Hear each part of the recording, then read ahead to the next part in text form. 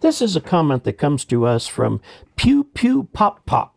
Okay on the homebrew multiband inverted V says when you say adjust the 20 meter, are you saying you simply slide the poles up and down to give more or less slack in the line? No.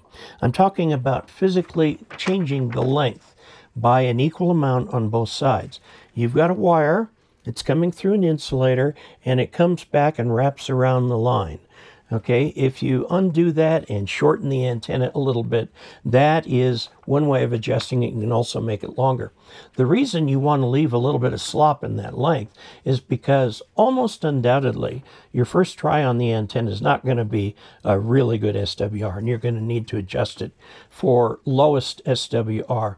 By the way, lowest SWR does not equate to resonant. The resonant frequency is determined by the length of the dipole, but a dipole actually has a feed point impedance of about 73 ohms with a 45 degree inductive angle to it. If you shorten it slightly, you can move that inductive down to the real line. It's a uh, something that you can do. Just go for lowest SWR. Do you cut the wire? I wouldn't cut it to the exact length for the very reason that I just gave you.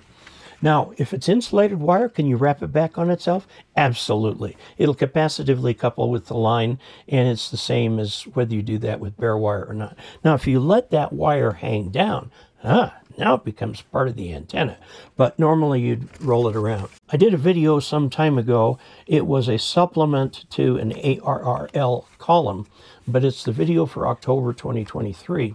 And it talks about actually creating a multi-band antenna and it's a, a, a fan antenna and quite a bit of the wire is wrapped around back itself, even though it is uh, insulated wire. Antenna worked like a charm. it's a killer antenna. People had a question about folding back insulated wires, so we did a comparison. We did a comparison with an antenna. I put up an antenna on 40 meters that was uh, bare wire.